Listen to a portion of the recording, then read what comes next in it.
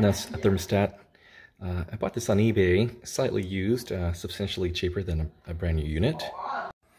Upgrading old Honeywell uh, thermostat control with the uh, Nest. Here I've uh, popped the cover of the old Honeywell thermostat. Um, this is a very straightforward installation, except I made a significant uh, rookie move. Very prominent in the instruction books. First step is uh, power down the, the electrical line to the AC, AC unit. Actually here it's off. Uh, this is already, uh, it says furnace, but it's uh, basically HVAC. That's turned off. I failed to do that important little step, and I thought I was being very careful with the wires. And I'll tell you what the problem was. Okay, here's all the wires uh, reconnected. The blue wire was not connected on the old Honeywell, so I'm leaving it uh, unconnected here as well. And then uh, we proceed to uh, pop in the unit. And this is, uh, we see that the, the red, green, yellow, and white uh, wires are connected. However, we're getting this. No power to the RC wire detected. Learn more at uh, nest.com E73. Okay, so I proceeded to uh, use the support chat function within the Nest app on my phone to troubleshoot this problem with the uh, with the Google Nest support folks for about two hours. And uh, to try various things, they told me to uh, cut off the tips of the the wires and to and to expose fresh uh, wire to reinsert. Did that, thinking it might be a loose connection. Still got the uh, problem. Um, and uh, finally they told me that I had a faulty base unit, which is this, or this, uh, sure, maybe this is a base unit, and that I needed to proceed to return it. Um, so I installed my old thermostat again because, you know, it's kind of hot, summer, and I didn't mean my EC firing.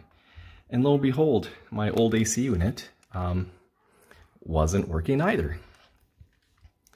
So I said, shoot, then it's probably not the Nest. I think there's a problem with this uh, red wire. There's no power to it.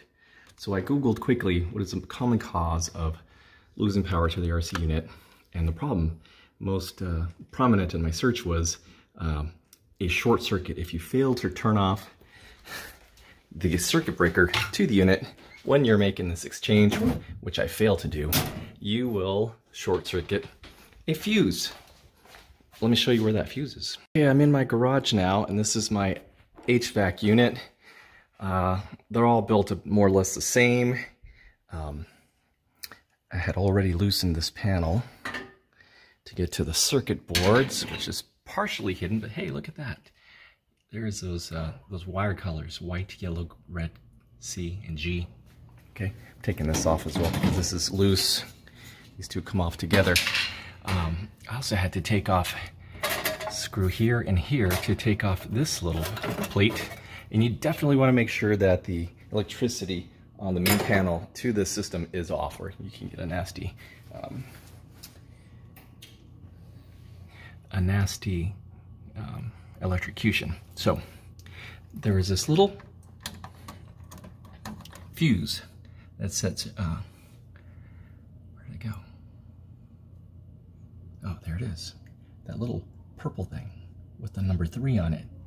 That's a fuse to the power to that little red line.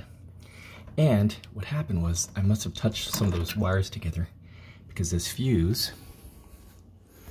this is common fuse found for automobiles.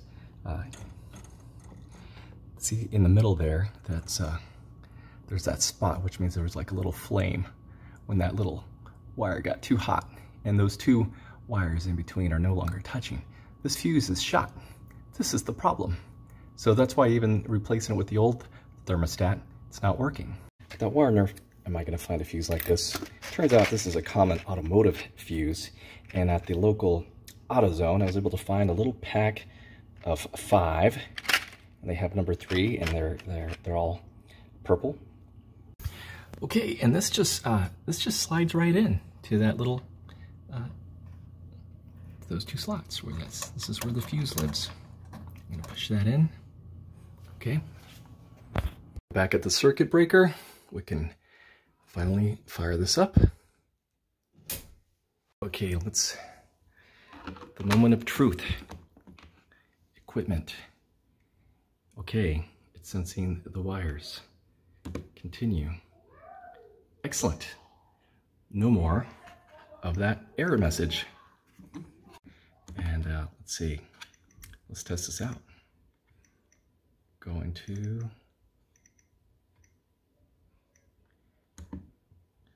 I need cool because it's hot in here.